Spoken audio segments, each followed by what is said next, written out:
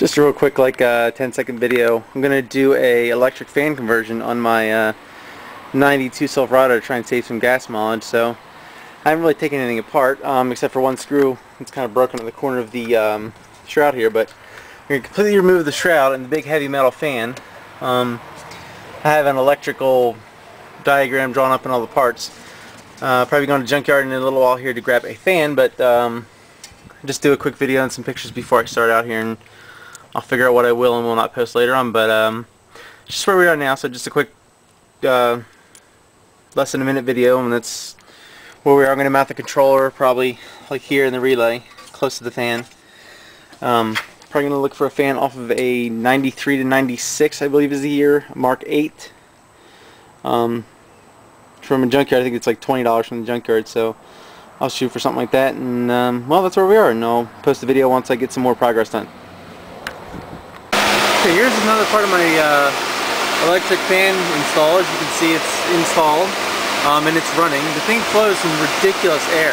It's out of like a mid-90s Thunderbird of some sort, but uh, it definitely flows some tremendous amounts of air. Um, quick look at there's the wiring coming off of it to the harness. I got a uh, down here a little 30 amp breaker that actually powers. There's two relays right here. It's kind of hard to see them, but they're right down in there. Um, wired them parallel so they would split the load because this thing apparently takes about 40 when it comes on. They're only 40, so that way they can half handle the load. And right below that is the temperature control, which you can kind of see.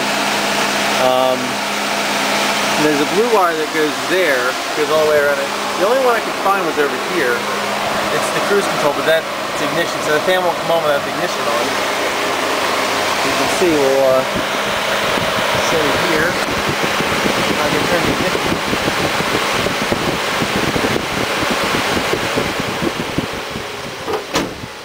And that kills the fan.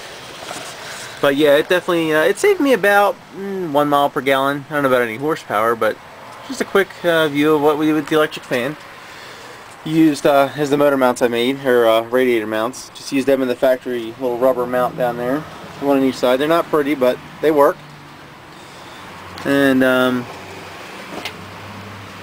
yeah, you can't really see much, but uh, there's the relays and the controller down there. And uh, they just run right off the battery. The control, the uh, relays themselves, and that controller tells them to turn on. So that's basically the electric fan conversion. I use uh, these little zip ties and some plastic spacers to hold it in with the foam that came with it. So there's what we got, and that's the electric fan conversion. I didn't do much when I actually converted it because it took a uh, it was raining and cold out. I just wanted to get it done because we needed the truck the next day. So pretty basic. It took about a day and a half. Um, that included going to get the parts and relays and running and cutting wiring. So there we go